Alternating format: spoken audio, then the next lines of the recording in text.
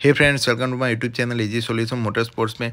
अगर आपके पास Bajaj Pulsar bike है और ये मास्टर सिलेंडर किट आपको चेंज करवानी है तो कितनी प्राइस में चेंज होगी और क्या प्रॉब्लम होता है तो हमें ये चेंज करवानी है। वो इस वीडियो में मैं बताने वाला हूँ तो अभी तक चैनल को सब्सक्राइब नहीं किया है तो please subscribe my YouTube channel क्योंकि ऐसे ही नॉलेजेबल वीडियो में लाता रहता हूँ। आप देख सकते हैं, हमारे पास एंडोरेंस कंपनी की मास्टर सिलेंडर किट है। अब इसमें क्या होता है कि जब भी हम ब्रेक प्रेस करते हैं तो ऑयल लीकेज की प्रॉब्लम आती है तो हमें ये चेंज करना पड़ता है। उसके बाद, अगर हम ब्रेक प्रेस करते हैं और प्रॉपर तरीके से ब्रेक लग नहीं रही है, फिर भी इसमें लीकेज होने की वजह से एयर निकल जाती है एयर इनलेट हो जाती है। उसकी वजह से प्रॉपर ब्रेक नहीं लगती है तो हमें ये मास्टर सिलेंडर किट बदलनी पड़ती है।